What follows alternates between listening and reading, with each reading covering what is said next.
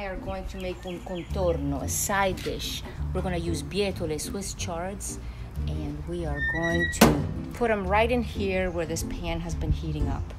We're in the garden and we're gonna cut some Swiss chards, some bietole.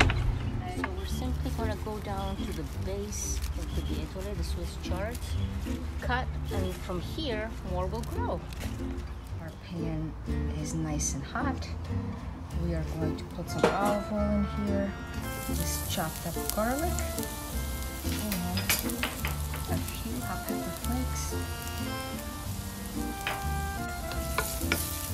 Right on top of this, we're immediately going to put the bietole that we picked from the garden.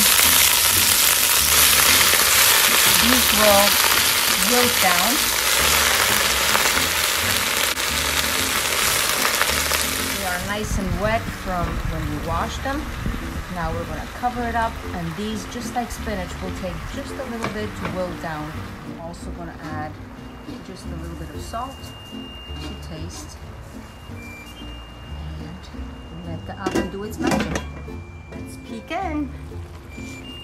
You see how much they've reduced? They are perfect. Let's take them off the fire. So this is our contorno di bietole. We're gonna put in giro d'olio, a nice drizzle of olive oil on it. And also what makes it very, very good is to squeeze fresh lemon juice on it, just like this. And this will be an amazing accompaniment to any meal. So here we go. I'm gonna get the first mouthful. Look at this. Buon appetito!